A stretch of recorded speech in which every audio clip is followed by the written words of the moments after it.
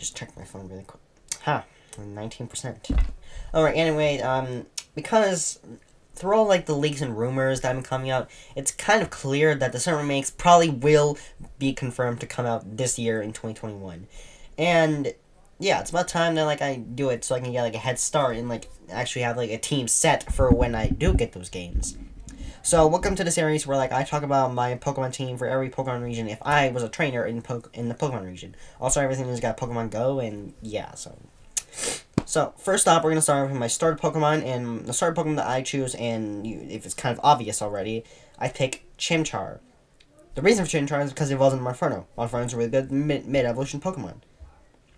And Monferno evolves into Infernape. And Infernape is my favorite Pokemon. That's it. It's my favorite Pokemon. So I have to put it on my team. Then like the early like early like uh like Pokemon that you can catch is like I'll catch a Shinx, and then like after like a few gym battles evolve into after like one or two gym battles evolve into Luxio, and then around like the sixth to eighth gym and evolve into Luxray. And then I'll catch a Cranidos, and then a few gyms later evolve into a Rampardos. Then I'll catch like the early world Pokemon Starly, in which I actually did catch on Pokemon Go. Uh, then I'll evolve into Staravia, and then Staraptor around like the final gym or whatever.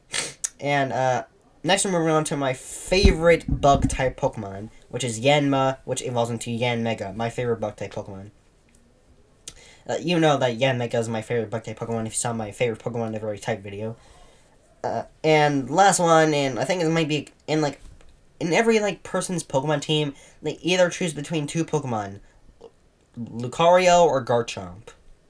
I mean, they're both really rare Pokemon to get, and you can get Gible pretty early on, but like if you accidentally KO it, then there's really no hope in like catching it until like the end of the game.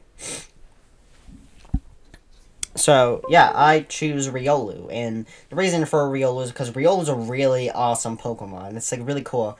Like when I was playing through Pokemon Y, I had a Riolu. It was the first Pokemon I ever Mega Evolved, and it was awesome. It was glorious. So yeah, uh, hope you guys enjoyed. Uh, that was my team for like when the Diamond and Pearl release come out, hopefully this year. So yeah, I will see you guys next time. This is a really short video.